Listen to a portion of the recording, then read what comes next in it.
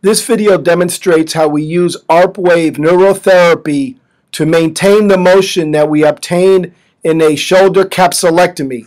This is a patient who had previous surgery. We can see here the lack of external rotation and forward flexion. Surgery will allow us to release the capsule and then be able to manipulate the shoulder. Now we, we see external rotations greatly improved, at least 30 degrees additional, and we now have much more forward flexion to essentially normal.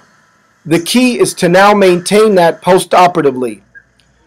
Pain will limit that recovery of motion, so will the lack of firing of the muscles that will mobilize it. ARP wave, as you see, is already helping in getting this patient to break through the pain and the limitations. This is only 48 hours after surgery. We will also utilize it during wall crawls where the patient is utilizing the wall to help him elevate the arm.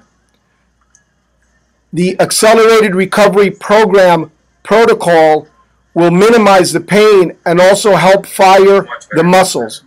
Here we see him only six days. So I'm not even helping you and already. So you're maintaining what I got from you in surgery. So that was a that, the ARP wave has allowed us to maintain the motion that we achieved. ARP wave is something that has been used by elite athletes for the last decade, but now available to patients. This is through OrthoNow and is a neurotherapy that is combined for our treatment.